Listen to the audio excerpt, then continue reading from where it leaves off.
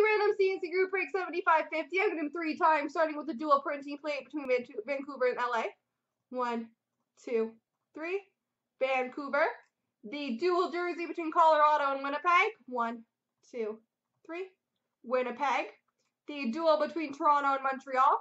One, two, three. Montreal. And the triple between Detroit, Winnipeg, and Nashville. One, two, three. Detroit. There we go.